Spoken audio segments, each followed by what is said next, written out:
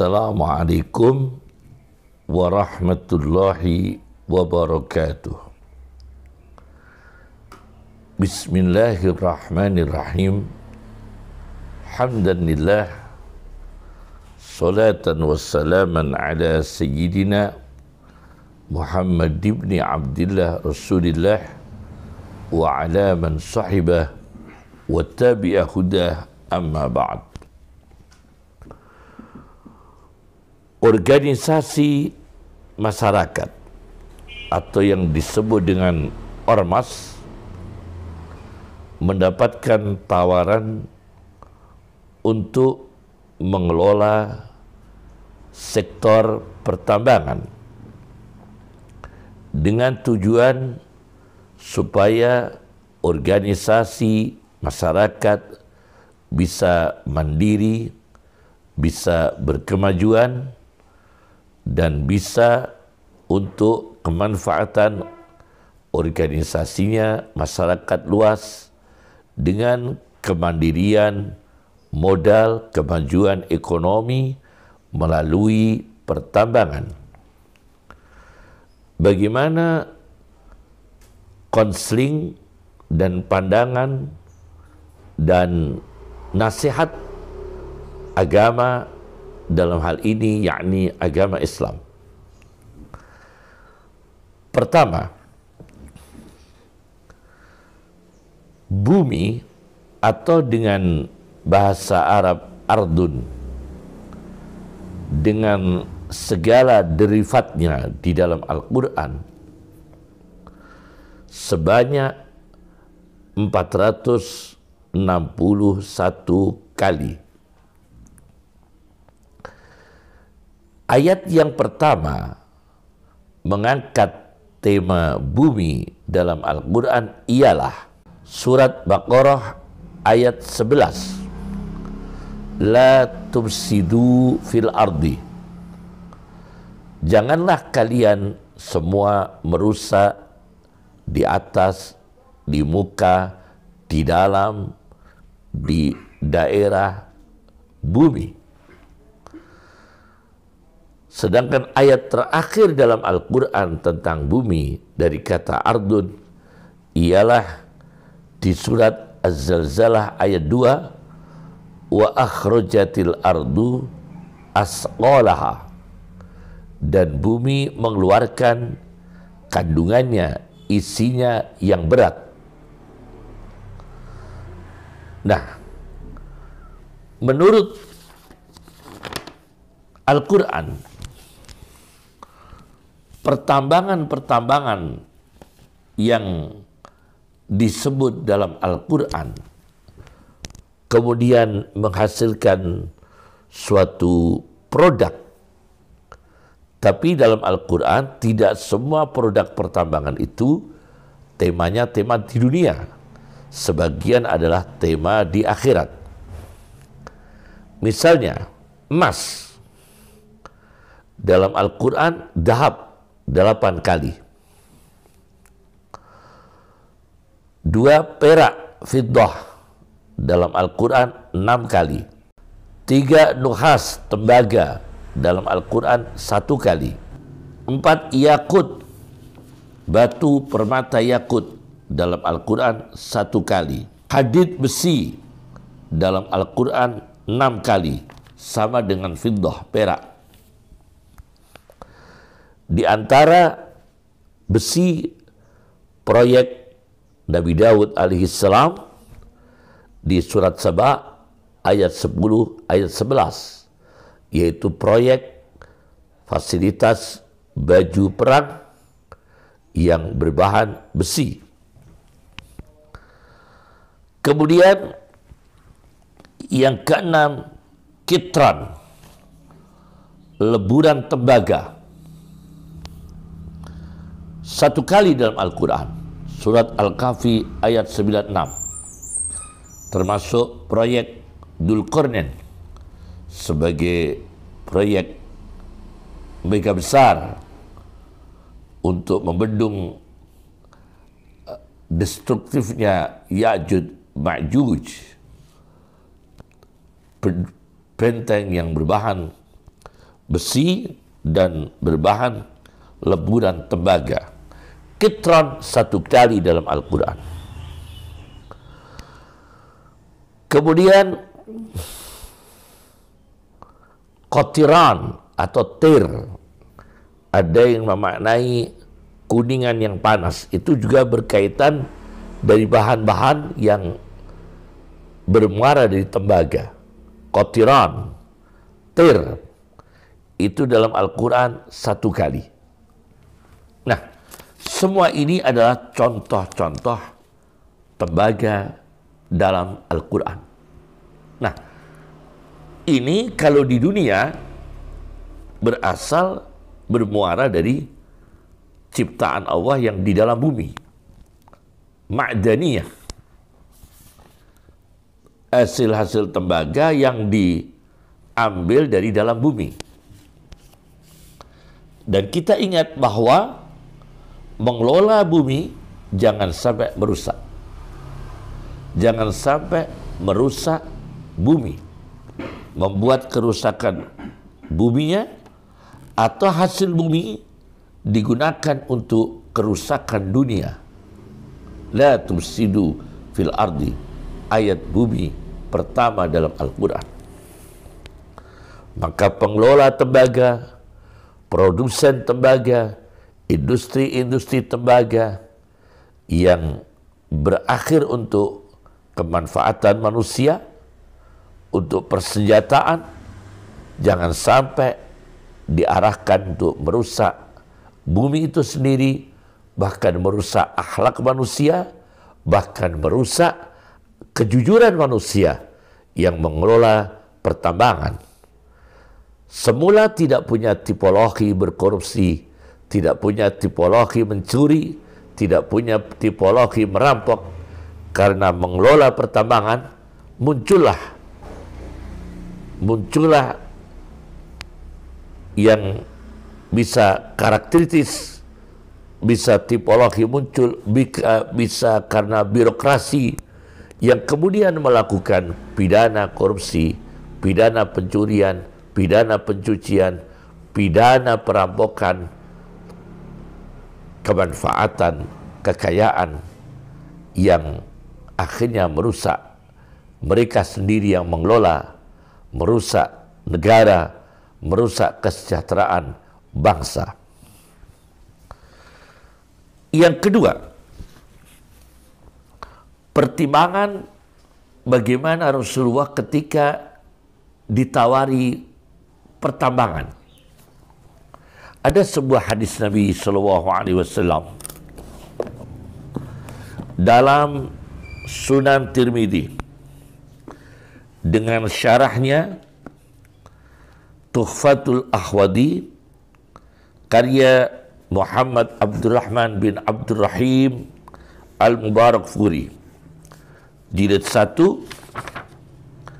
halaman 61 62 terbitan saya sebutkan terbitannya Daru Ihya'i Turas Al-Arabi Beirut Libanon.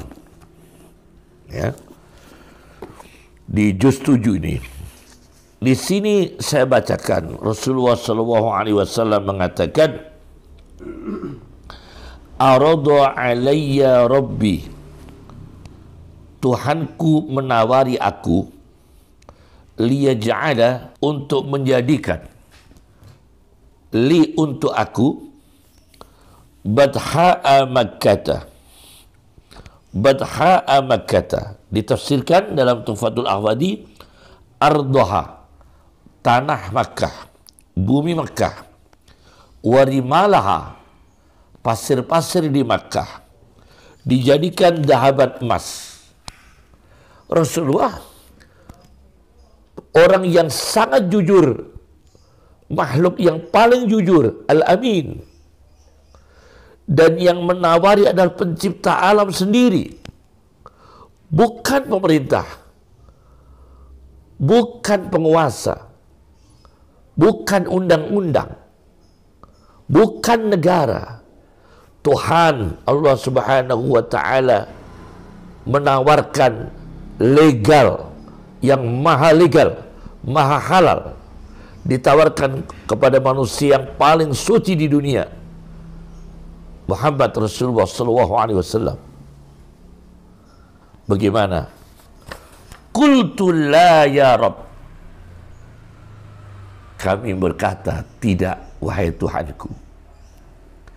Walakin ashba'u yawman wa aju'u yawman dan tetapi aku memilih kadang sehari kenyang dan sehari lapar.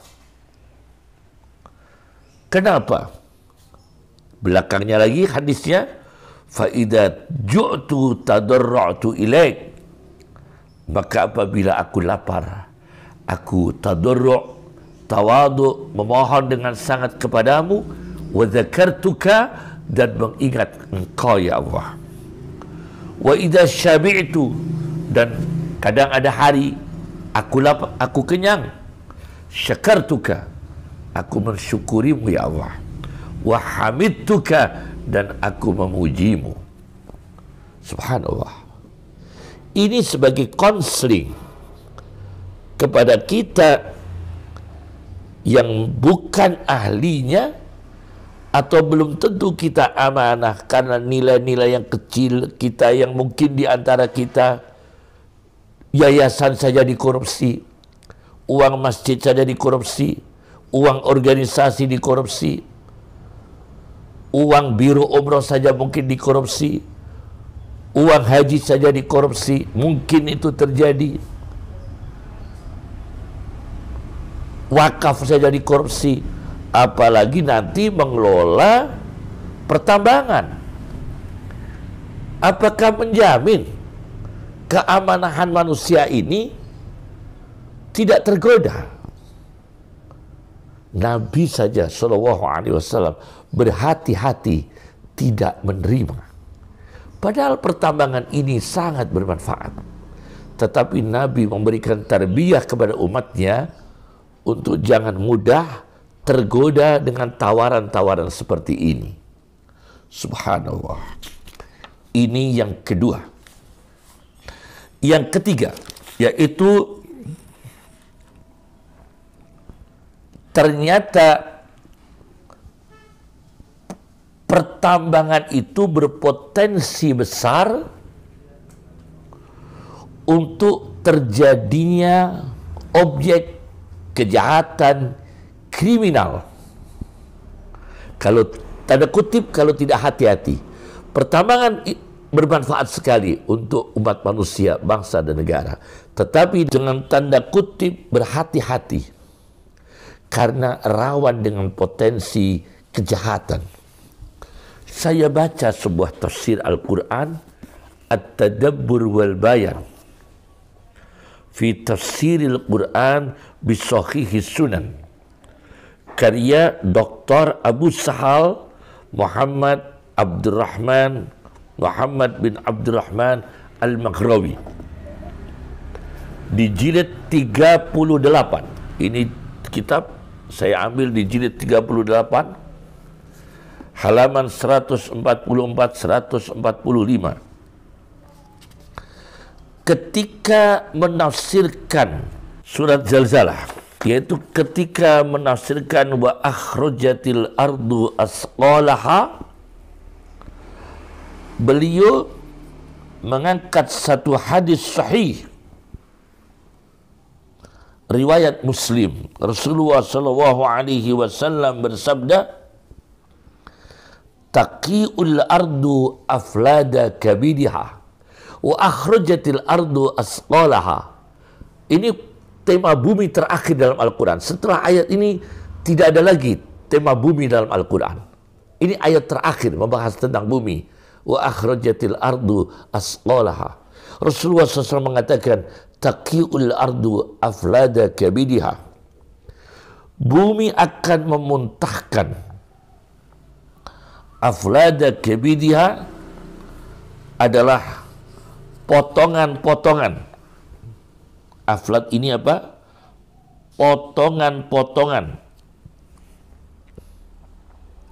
yang ada dalam perut bumi ada dalam perut bumi. Kabid itu makna aslinya adalah hati atau liver, liver yang ada dalam perut bumi. Amsal al-ustwan min ad-dhahab wal fiddah. Semisal contoh-contoh hasil-hasil produksi dalam tambang bumi tiang-tiang ustwan tiang. Minat dahab emas. Soko tiang dari emas. Wal fiddah tiang dari perak. Fayaji'ul qatil kata Rasulullah SAW maka suatu ketika akan datang zaman orang merebutkan pertambangan emas dan perak. Maka ada orang yang melakukan pembunuhan. Fayaqul maka dia berkata fi hada qataltu. Karena pertambangan inilah aku membunuh manusia. Satu. Wajajiul qati. Datang lagi orang yang memutuskan persaudaraan memusuhi sesama muslim memusuhi sesama bangsa memusuhi sesama anak bangsa. Wayaji'ul qati' orang yang memutuskan saudaranya datang. Fayaqul maka dia berkata fi hada qata'tu rahimi. Gara-gara pertambangan inilah emas dan perak aku memutuskan persaudaraan silaturahimku. Memutuskan kerabatku memutuskan saudaraku memutuskan sesama umat Islam, sesama bangsa dan negara, sesama warga negara. Wajaji'u sarik, wajaji'u sarik, dan akan datang pencuri. Fayaqul, maka dia berkata, fi hada kutiat yadi. Gara-gara pertambangan inilah tanganku dipotong karena mencuri, mengkorupsi, aku dipenjarakan, aku dieksekusi. Nah, berarti pertambangan ini rawan terjadinya tindak pidana satu al-qatil dilakukan oleh pembunuh, al-qati yang memutuskan persaudaraan, as-sarik adalah mencuri, maka pada akhirnya mereka ini menyesali. Summa yada'unahu setelah semua itu terjadi setelah kejahatan-kejahatan itu terjadi baru kemudian mereka meninggalkan pertambangan itu. Fala ya fala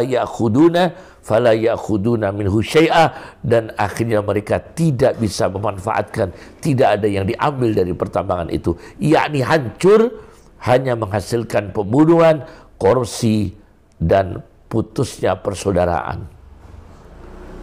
Ini yang ketiga Yang keempat, saya baca di dalam kitab Musnad Ahmad psikologi orang yang mengelola yang berurusan dengan pertambangan. Psikologi buruk yang harus diwaspadai psikologi kejiwaan orang pertambangan yang harus diwaspadai khususnya orang-orang pertambangan jangan tertular dengan sifat dan karakter kejiwaan ini. Nanti bagaimana Rasulullah SAW mengingatkan tentang kejiwaan orang-orang yang mengelola pertambangan dan menguasai pertambangan. Saya baca dalam kitab Mustadu Ahmad bin Hambal jilid 7 halaman 163 hadis nomor 23706 Rasulullah sallallahu alaihi wasallam mengatakan ketika Rasulullah sallallahu alaihi wasallam ada seorang mendatangi beliau dengan membawa perak dan berkata ini Rasulullah perak hasil pertambangan milik kami. Hadihi min ma'danin lana. Kata Rasulullah sallallahu alaihi wasallam, "Satakunu ma'adinu." Akan ada pertambangan-pertambangan. Yakhduruha syirarun nas. Yang hadir di sana, yang mengelola di sana, logikanya dengan logika yang enak-enak hanya mempertimbangkan yang enak-enak. Tapi Nabi mempertimbangkan lain. Satakunu ma'adin. Akan ada pertambangan-pertambangan yakhduruha yang hadir di sana, mengelola di sana, menguasai di sana syirarun nas. Orang-orang buruk, orang-orang jahat di antara manusia. Ini pertimbangan yang keempat. Yang kelima, pertimbangan jurisprudensi, fikih. Saya baca karya Profesor Dr. Wahbah Zuhaili, Al-Fiqhul Islami wa Adillatuh. Di jilid 5, jilid 5, halaman 584, 585, 586. beliau mengatakan Al-ma'adin inda syafi'iyah wal hanabilah. Pertambangan menurut pengikut Imam Syafi'i dan pengikut Imam Hambali. Beliau mengatakan yakni Ahmad bin Hanbal La yajuzu ikta'uha li ahadin minan nas. Tidak boleh memberi manfaat, faedah, pertambangan kepada satu perseorangan dari manusia. Sawaun sama saja ikta'u tablik memberikan manfaat untuk memilikan memilikan dimiliki mereka dia dimiliki perseorangan. Au ikta'u irfaq atau memberikan manfaat untuk mengambil faedahnya. Bal hiya lil jami' Pertama itu untuk semua warga negara. Yang tafi'una biha yang memanfaatkan silakan. Bukan perseorangan siapa pun boleh nah asalnya begitu. Bal lil jami' bahwa pertambangan itu bisa untuk semua, yakni semua yang punya kredibel, yang punya legalitas hukum, yang punya keahlian, yang punya kredibel, keahlian, legalitas hukum, kemudian dibenarkan secara amdal, tidak merugikan negara, integritas, amanah siapa pun boleh. Yang punya keahlian tentu dengan tes dengan apa itu uh, survei kemudian mempelajarinya siapa yang layak yang tafi'una biha untuk memanfaatkan. Akan tetapi itu tetap diatur oleh negara diatur oleh negara di halaman yang lain, menurut pandangan Malikiyah, di halaman yang lain dalam kitab Al-Fiqhul Islam wa Adilatuh, menurut pandangan Malikiyah, pengikut Imam Malik bin Anas, di sini disebutkan annal ma'adin al-jamidah sesungguhnya pertambangan-pertambangan yang keras, beku, wasailah dan cair, lidaulah. Seharusnya negara indal malikiyah negara yang mengelola menurut malikiyah pengikut madhab maliki fi masyhur fi masyhuril madhab di dalam qaul yang populer dari madhab maliki. Li'annal ma'adina karena sesungguhnya pertambangan-pertambangan qad yajiduha syirarun nas. Kadang yang menemukan orang-orang jahat. Falau lam yakun hukmu halil imam maka apabila pertambangan-pertambangan itu tidak dikuasakan pada pemimpin yakni negara la addal amru ilal fitani maka membawa perkara ini pada fitnah-fitnah kerugian-kerugian negara. Banyak orang yang mengaku ini pertambangan swasta ternyata pertambangan yang merugikan negara. Orang-orang pribadi punya pertambangan pertambangan pertambangan pertambangan yang sebetulnya ini bisa dikuasai oleh negara tapi dimiliki oleh orang per orang bukan negara kalau negara bisa akhirnya untuk kesejahteraan rakyat. Tapi ini orang pribadi-pribadi memperkaya diri sendiri, menguasai pertambangan-pertambangan. Falau lam yakun hukmuha lil imam.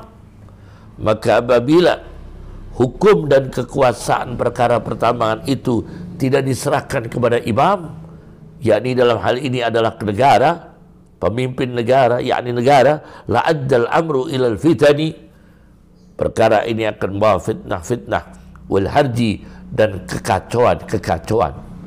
Betapa besar kerugian negara karena banyak penggalian pertambangan-pertambangan ilegal yang mengaku diberikan legalitas hukum oleh negara. Nah, dari pertimbangan lima inilah maka organisasi masyarakat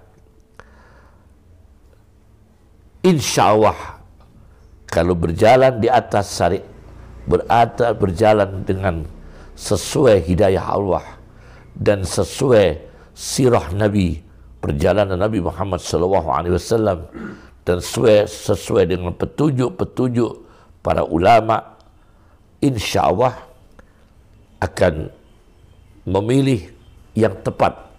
Tidak terburu-buru tidak tergoda tidak dikuasai nafsu, tidak mengikuti emosi, tapi dengan pertimbangan kearifan. Ingatlah ayat Quran tadi, ingatlah hadis Nabi tadi, ingatlah para ulama dalam bersab dalam berfatwa.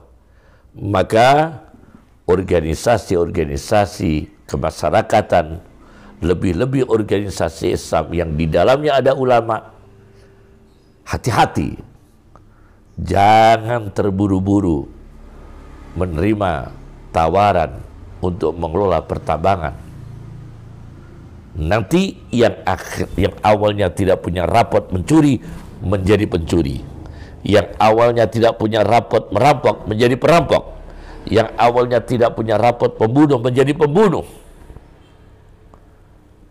Ini harus diwaspadai, belum lagi kerugian negara. Subhanallah. Dan nanti ekses politiknya adalah kalau ormas ini mengelola pertambangan, ini mengelola pertambangan akan menjadi pintu masuk